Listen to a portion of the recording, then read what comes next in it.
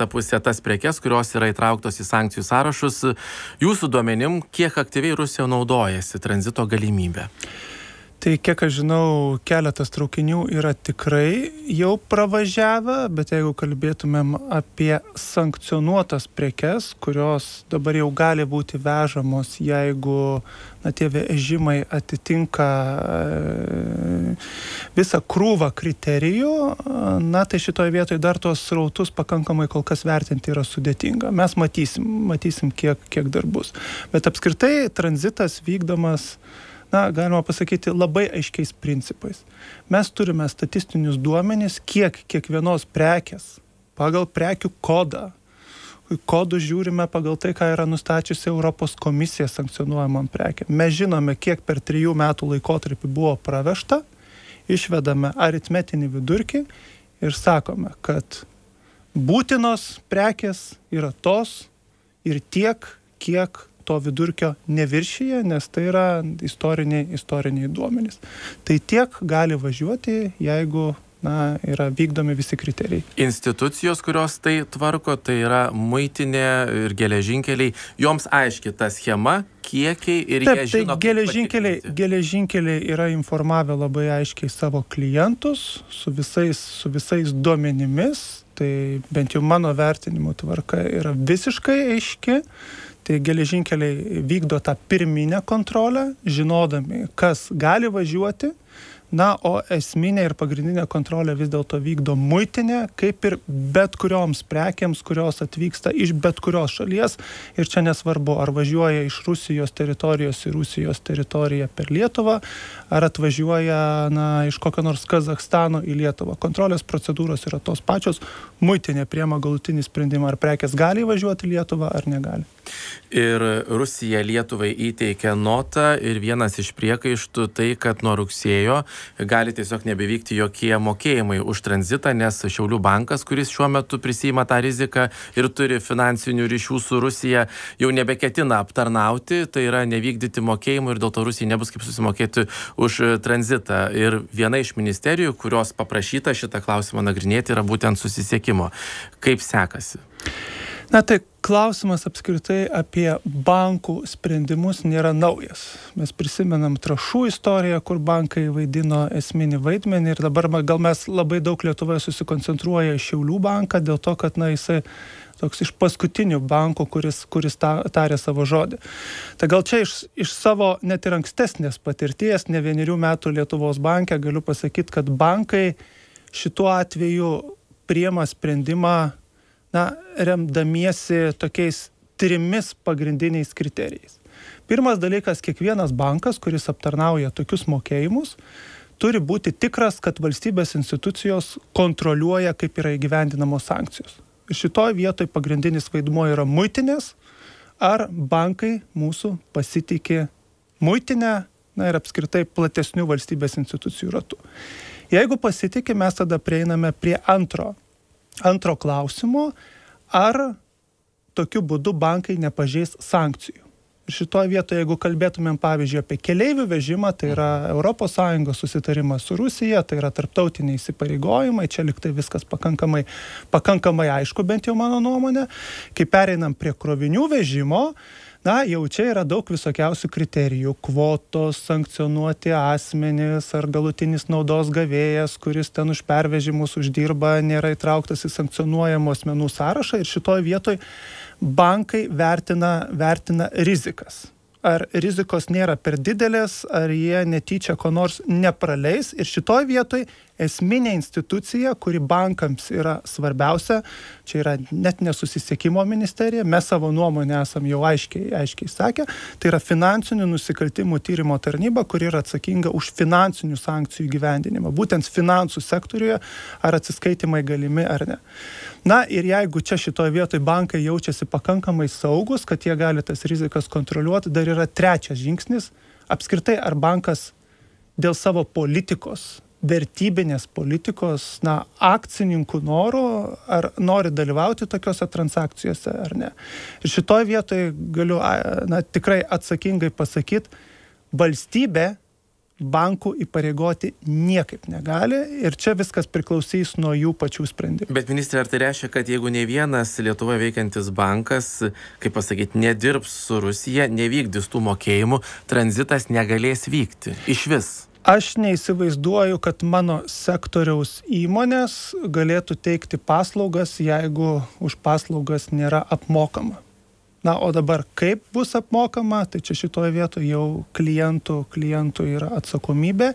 Iš susisiekimo ministerijos pusės mes manome, kad yra tie mokėjimai, kurie leidžiami ir ypač kas yra susiję, tie pervežimai, kurie yra leidžiami, kurie yra susiję ypač su tarptautiniais įsipareigojimais, na, už juos atsiskaityti turėtų būti galima ir čia rizikos nėra per didelės. Ar tokio patikinimo mūsų, mūsų pakaks finansų institucijoms ir pakanka, kaip aš minėjau, ne, čia yra esminis vaidmos finansinių nusikaltimų tyrimų tarnybos, tai yra muitinės, na ir galiausiai pačių bankų akcininkų. Bet kas bus, jeigu bankai išeis iš šito žaidimo? ir tranzitas tarsi formaliai pagal Europos komisijos išaiškinimą gali vykti, bet jis realiai negali vykti, nes kaip jūs minėjote, bet jeigu nėra, jeigu, jeigu, nėra, jeigu nėra apmokama, tai aš neįsivaizduoju, ar, ar gali vykti. Kas, kas vykdys pervežimus nemokamai? Bet tada kokios mes sulauksim reakcijos iš Rusijos? Na tai šitoje vietoje reakcijai jokių priežasčių kažkokių tikrai šitai šaliai nereikia. Na, bet e, finansų institucijom valstybė, vyriausybė nieko nurodyti, aptarnauti negali. Mes kol kas savo valstybinio banko neturim ir ačiū Dievui, kad neturim, nes priešingų atveju kiekvienas politikas turbūt nurod, norėtų nurodyti valstybės valdomui bankui, kaip, kaip reikėtų elgtis vienu ar kitu atveju. Na, šitoje vietoje yra turbūt ir daugiau žaidėjų, ne tik Lietuvos bankų, bet, bet ir kitose šalyse, na ir matysim, kaip čia bus susisiekimo ministras marius skuodis ryto garsuose. Pereikim prie kitos temos. Kelių atstatymo ir liūčių. Didžiulė liūtis. Birželio pabaiga. Daug kelių buvo nuplauti. Vieni labiau kiti mažiau. Dalis tų kelių priklauso automobilių kelių dire direkcijai. Jums pavaldi ta direkcija. Ir pavyzdžiui vienas ryškesnių tokių atvejų kaišiadorių rajonas pakertų gyvenvietė ten tiesiog krateris atsivėrė vietoj kelio. Tai pirmiausia ministre e, kaip greitai ir ar išvis yra teikiamas koks nors prioritetas tiems keliams, kurie buvo sugriauti dėl liūties? Be jokios abejonės. Na, kai Šedorių ir Prienų rajonuose, būtent mūsų, jūsų minimų laikotarpiu, na, buvo tokių dėl, dėl liučių nuplauti praktiškai septyni keliai. Tai mhm. natūralu, kad jiems yra teikiamas prioritetas ir kas šiuo metu yra daroma, tai yra vertinamos priežastis, kodėl taip atsitiko. Natūralu, norint sutvarkyti, reikia vertinti priežastis, kad daugiau tai jau nebepasikartotų. Ir kiek aš žinau, dėl didžiosios dalies, dalies kelių, na kaip ir rangovai turėtų, turėtų pabaigti darbus net galbūt ir iki vasaros, vasaros pabaigos. Jeigu tai yra situacija nėra tikrai sudėtinga, nes vis dėlto svarbiausia priežastis pašalinti. Nesutvarkyti galim, bet kas iš to, jeigu, jeigu rudens ateis kokios nors liūtis ir vėl nuplaus. Bet mano atsakymas aiškus, faktas, tikrai tam yra skiriamas prioritetas, nes keliai turi būti pravažiuojami. Ir jeigu bent vienas kelias nepravažiuojamas, čia jau yra institucijų atsakingų pareiga užtikrinti ir tas kliūtis pašalinti čia ir dabar kuo greičiau. Tai žodžiu, tikėtina, kad jau rudenį žmonės į darbą galės. Be jokios, be jokios abejonės. Negaliu garantuoti dėl kiekvieno kelio, nes Lietuvoje mes turime daugiau. Pats neseniai važiavau ir Klaipėdos, Klaipėdos rajone tiesiog yra šlaitas didžiausias, mhm. didžiausias nuplautas praktiškai, praktiškai į upę ir kai kurių vietų taip greitai sutvarkyti neįmanoma, nes tiesiog reikia statyti sienas, kad ten toliau griūties nebūtų, bet dėl didžiosios dalies tai tikrai taip, darbai turi būti pabaigti pakankamai greitai. Ir nėra taip, kad bus skelbiami kokie nors nauji konkursai, žmonėms reikės laukti porą metų ir tik tada prasidės realūs kelių tvarkymo darbai. Labai e, dėl konkursų, konkursai didelė dalimi yra tiesiog būtini šitoje vietoje, na, neišeina taip, taip daryti, daryti iš, iš karto darbų, bet kiek, kiek, kiek aš esu patikintas, tai būtent dėl jūsų minimų savivaldybių, tai iki rūpiučio pabaigos, priklausomai nuo rangovų darbo, kaip ir darbai didžiaja dalimi turėtų būti pabaigti. Neseniai vyriausybė pristatė planą apskritai, kaip toliau bus tvarkomi valstybiniai keliai, kuriems keliams bus skiriamas prioritetas ir taip toliau. Ir jūs irgi vis sakydavot, kad e, reikia ypatingą dėmesį, reikia ypatingo skaidrumo ir taip toliau. Kas dabar toje, sakykime, kelių, valstybinių kelių tvarkymo ir priežiūros politikoje, bet jums dirbant ministru yra kitaip negu buvo anksčiau? Kaip tie prioritetai nustatyti? Tai yra gal du pagrindiniai dalykai. Vienas, kas yra susijęs su savivaldybių keliais, antras dalykas, kas yra susijęs su valstybės keliais. Mhm. Kalbant apie savivaldybių kelius, pirmą kartą įstatymo lygmenių, ne vyriausybės keičiamais nutarimais yra įtvirtintos proporcijos, kaip yra skirstomos lėšos. Yra suteikta daugiau savivaldybėm lankstumo lėšas panaudoti, kontraktuoti trijų metų laikotarpiu, ne vieneriems, ne vieneri, trijų metų laikotarpiu, ne vienerių metų darbams ir gal esminis toks dalykas, kiekviena savivaldybė turėjo sudaryti pagal tvarką nustatyti tvarkytinų objektų eiles bent trijų metų laikotarpiu. Tai yra nauja, nes pusė savivaldybių tokias eiles turėjo ir gyventojams buvo aišku, pusėje savivaldybių tokių, tokių tvarkų nebuvo. Čia yra esminis skaidrumo reikalavimas mainais į didesnį lankstumą, nes mano įsitikinimu savivaldybės pačios geriausiai žino, kurį objektą reikia tvarkyti pirmą, kurį antrą ir čia ne valstybei turbūt iš centrinės valdžios sakyti, kad dabar darome tą. Kalbant apie valstybinius kelius, yra labai svarbu nustatyti ilgalaikius prioritetus ir proporcijas, kam skiriame kiek lėšų. Tai šitoje vietoje gyvenimas diktuoja prioritetus. Vienas dalykas yra strateginiai keliai ir čia mes turime keturis vienas iš jų Utenos, puikiausiai žinomas mhm, kelias. Betonkė. Taip, amžiaus, amžiaus, amžiaus statybos. Tai natūralu, kad resursai koncentruojami jiems. Antras dalykas, na, man kaip susisiekimo ministrui, na, iš tiesų uh, jau praktiškai kai kuriais keliais nebegaliu važiuot, kiekvieną duobę jaučiu. Jau mm. gaunasi tokia kaip ir profesinė, profesinė tam tikra lyga išsivystė, atrodo anksčiau nepastebėdavau, nepastebėdavau situacijas, bet šiandieną, ką rodo duomenys, vertinimai laboratorijos antratų, 40 procentų valstybinės reikšmės kelių netitinka kokybės reikalavimų.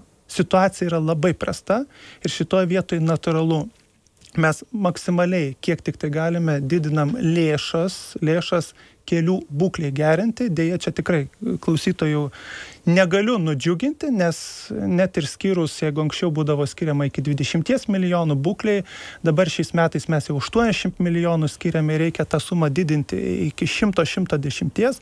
Deja, per vienerius dviejus metus rezultatai nepasijaus po penkerių metų mes pradėsime jausti tuos rezultatus, tai čia yra labai svarbu, kad na, tos proporcijos ir investicijos išliktų. Na ir toliau natūralu yra ir žvirkelių klausimai, ir eismo saugumo priemonės, tai šitoje vietoje na, gairėse kelių iki 35 metų yra nustatytos proporcijos, yra įvardinti pagrindiniai objektai ir tikslai, ką mes norime pasiekti padaryti. Šitoje vietoje labai svarbu na, judėti kryptingai ir nesiblaškyti. Nepadaryti taip, kad vienais metais mes į būklę investuojam, kitais metais mes būklei neskiriam lėšų ir, pavyzdžiui, visas lėšas metam į žvyrkelio asfaltavimą. Šitoje vietoje vis dėlto proporcijos yra, yra svarbios. Gerai, 2025 metais turėtų būti visiškai sutvarkytas kelias Vilnius Utena. Įmanoma tą padaryti?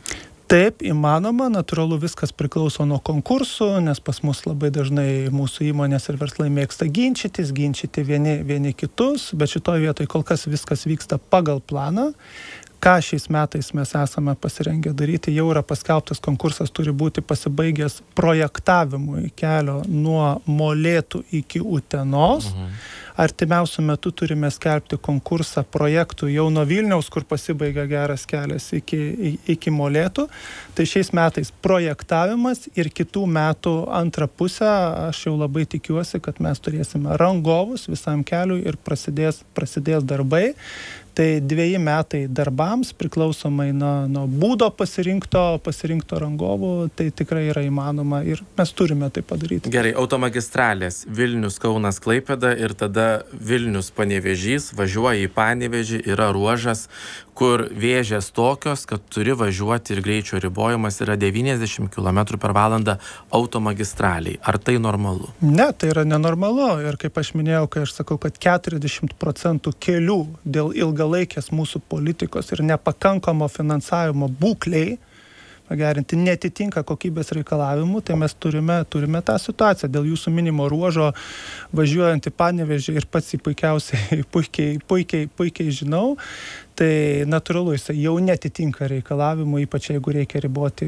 riboti greitį. Nu, tu negali tai, tai kita, jo, automagistralė. Jo, tai, tai kita, kelias tik su asfaltu. Kita, kita met darbai turi būti pradėti, būtent to atkarpoje, kalbant apie Vilnius ir Kauną, lygiai taip pat mhm. jau yra suplanuoti darbai kitiems metams, šiuo metu na, vyksta vertinimas, vertinimas kai kurių kitų ruožų ir bus priimti sprendimai, ten, koks, kokio ten remonto reikia, ar kapitalinio, ar užtenka paprastojo, kurį galima įvykdyti labai greitai. Tai 20-21 metais, kalbant apie Vilnių, Klaipėdą, automagistralę buvo gal 40 km net suremontuota, pastaraisiais ir šiais metais e, remontų nematome, išskyrus aplink Kauną ties tiltais viedukais, ten koncentruojamės.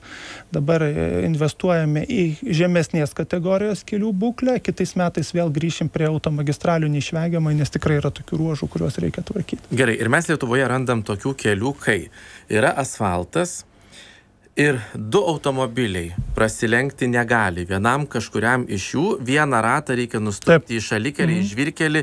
Ir yra jau lietuvoj atvejų pavyzdžiui kelias molėtai joniškis kur buvo siauras tas asfaltas ir dabar jis iš naujo nutiestas. Ir vis tiek jisai siauras vis tiek nepraplatintas. Ar išvis lietuvoje gali būti tokių kelių? Naujas kelias sutvarkytas arba senas du automobiliai prasilenkt niekaip negali stebintų man čia klausimas, ar valstybinės reikšmės. Tada tas kelias, jeigu yra per siauras, nes jeigu jau naujas yra tiesiamas, tai paprastai, paprastai jau turi atitikti, atitikti jo, atitikti visus reikalavimus. Tai jo, tai, tai lygiai taip pat, e, grįžtant į jūsų minimą strategiją, kelių gairias, mes Lietuvoje tokių valstybinių, valstybinių aukštesnės kategorijos kelių Net... turime 200 km ir mes esame aiškiai užsibrėžę, kad iki 30 metų metų tokių kelių neturi likti. Tų siaurų. Tokių. Taip, per siaurų, kur neįmanoma prasilenkti, reikia, reikia važiuoti, važiuoti kelkraštį ir, ir, ir nuosekliai kiekvienais metais po tam tikrą kilometrų skaičių, skaičių tvarkome, tai dar truputį užtruks, bet tokių kelių na, per aštuonerių metų laikotarpį tiesiog neliks. Aukštesnės, aukštesnės kategorijos, ypač kurie, kurie yra intensyviausi pagal, pagal eismą. Ir dar vienas momentas, važiuoja iš Vilniaus į Panevežį, tik išvažiuoja iš Vilniaus, ten jau beveik įvažiuoja automagistralė ir yra posūkis į kairę, avižienių gyventojai, aplinkinių kaimų gyventojai ten praktiškai iš automagistralės turi išvažiuoti, kirsti autostradą beveik turbūt žinot jūs tą vietą ten piko metu susidaro spūstys tu važiuoji vos ne šimtu ir tau staiga reikia sustoti nes automobiliai iš dviejų juostų yra užėmę vieną čia dabar? Kaip jūs vertinat šitą situaciją? Prastai vertinu. Apskritai man ukmergės ukmergės gatvė ir ukmergės plentas tai aš pats jeigu galiu stengiuosi stengiuosi jo išvengti. Viena dalis yra pačiam vilniuje kai dėl prekybos centrų šviesoforo po šviesoforo neįmanoma neįmanoma greitai išvažiuoti. Antra dalis jau yra kur prasideda valstybinės reikšmės kelias. Tai šitoj vietoj na yra susitarimas savivaldybių vilniaus rajono vilniaus miesto ir automobilių kelių direkcijos kad ten yra e, reikalingas normalus, normalus pravažiavimas.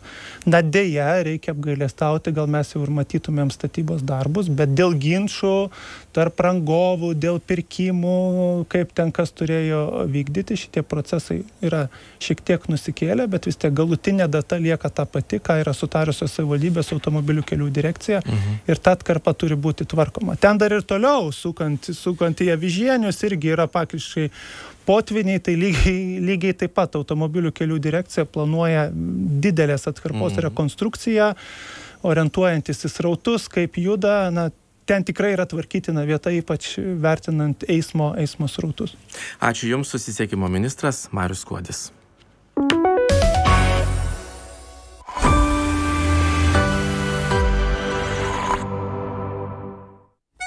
Martynas Levickis poetiškai veržliame koncerte muzikinė